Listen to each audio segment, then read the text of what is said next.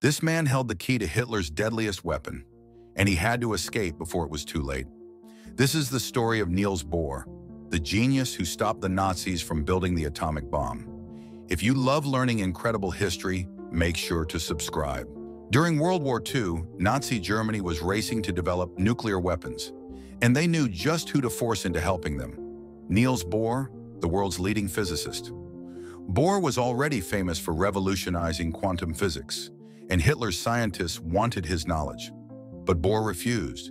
He knew what would happen if the Nazis got the bomb. So when the Gestapo came for him, he ran for his life.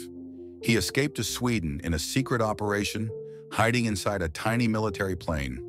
Then he was smuggled to the US, where he helped the Allies develop the atomic bomb before Hitler could. Historians say that without Bohr, World War II could have ended very differently. His genius shaped the modern world, but his bravery saved it.